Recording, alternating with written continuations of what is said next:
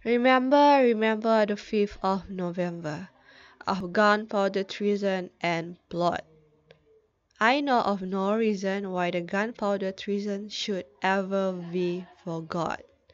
Sebuah tragedi.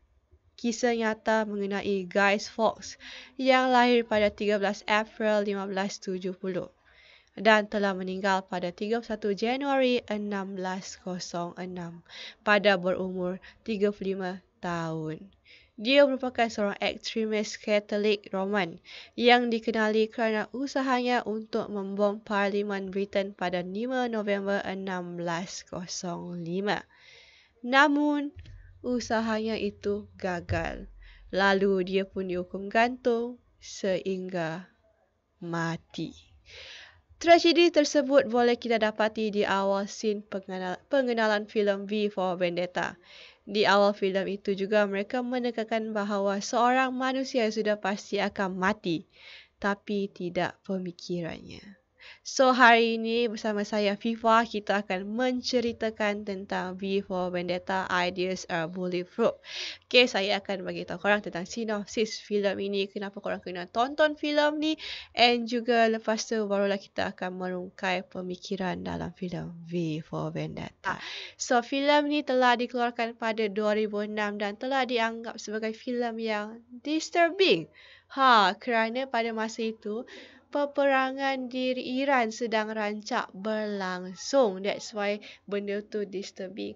Orang juga terkesan kerana ianya dikeluarkan lima tahun selepas peristiwa 9-11 di New York City. Yang mana peristiwa itu adalah disebabkan oleh sekumpulan teroris sama seperti apa yang terjadi dalam filem V for Vendetta ni. Filem ini seakan mengkritik kerajaan yang telah menyebabkan kemarahan golongan teroris kerana kerja kotor yang mereka lakukan. Ha, sama macam peribahasa, kalau tiada angin, masakan pokok boleh bergoyang kan? Kalau kerajaan tak buat silap, kenapa ada teroris? Ha, macam tu maksud dia. Kerajaan menjadi berkuasa menyebabkan rakyat dikongkong.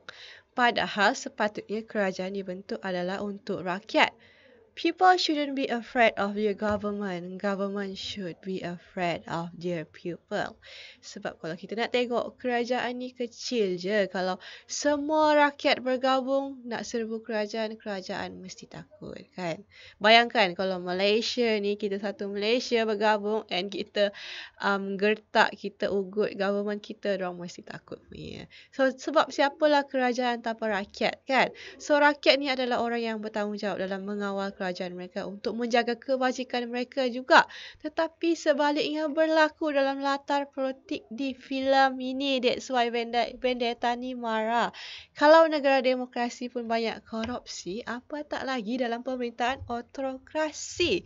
Ha, orang-orang fascism ni, orang ramai telah dipijak oleh kerajaan sehingga kan orang yang bersuara ditangkap dan dibunuh. Okay, seperti mana yang terjadi pada watak V, v, uh, v ini sebab dia telah ditangkap dan dijadikan bahan eksperimen. Tetapi beruntungnya dia bahan uh, apa eksperimen dia tu telah menjadikannya lebih kuat dari manusia biasa. Begitu juga dengan uh, Eve ni di mana parents dia dia kena tangkap and dah kena bunuh but dia akhirnya just pilih untuk berdiam di mana dia ni sama macam rakyat-rakyat ataupun orang awam yang lain kan Orang yang bersuara ditangkap dan dibunuh, orang yang tidak bersalah dijadikan bahan eksperimen sehingga menyebabkan jumlah kematian meningkat mendadak. Kemiskinan, penyakit dan sebagainya adalah punca daripada kepimpinan sebuah kerajaan yang fasis.